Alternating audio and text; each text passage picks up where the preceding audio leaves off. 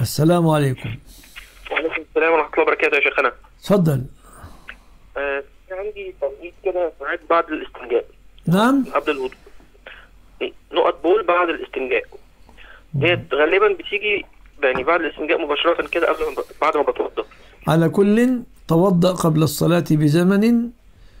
عفوا ادخل الحمام قبل الصلاة بزمن. وبعد كده اهدأ شوية وارجع. وبحاول قدر الإمكان في الاستنجاء إن أنا بحاول أعمل كذا حركة كده يعني بنزل وبطلع بجسمي كده عشان خاطر لو في أي حاجة أكون يكون الموضوع منتهي تماما يعني. والله يا أخي هذه المسائل من أشد المسائل إشكالا. فنحن نقول إما أن تؤجل دخول الحمام إلى بعد الصلاة يعني تتوضأ بدون دخول الحمام أو أنك تدخل الحمام قبلها بزمن وبعدها تصفي نفسك وتنظف نفسك وتأتي الصلاة.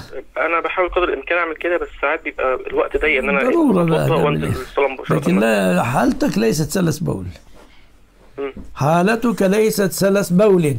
تمام يا مولانا تمام. ربنا يسلمك.